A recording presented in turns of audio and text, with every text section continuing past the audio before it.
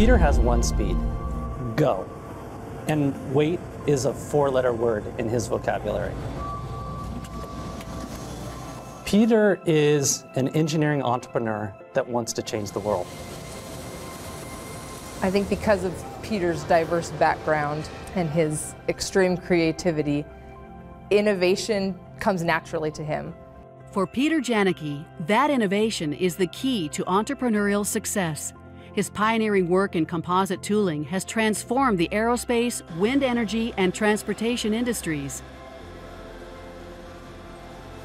After graduating from the University of Washington, Peter founded Janicki Industries. The company's proprietary five-axis mill helped cement Washington State as a leader in composite manufacturing.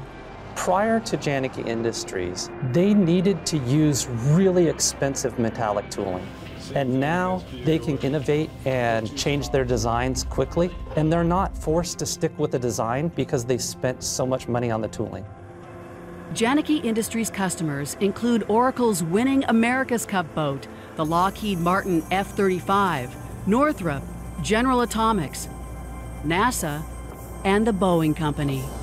Well, I think when people look at our society a thousand years from now, one of the things they will remember is the large composite airplanes, which is the 787.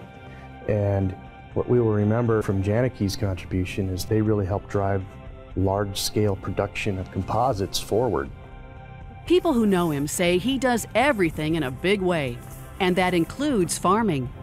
He likes big horses, so he has draft horses, and generally the things that he interacts with are big things. And now he's thinking about big ideas for helping the poorest people on the planet. Peter's dedication to solving the global sanitary water crisis led to a partnership with the Gates Foundation and the development of the Omni processor under a new company, Janicki Bioenergy. The revolutionary device transforms sewage into potable water and electricity. In a much publicized vote of confidence, Bill Gates sipped water that came out of the Omni processor.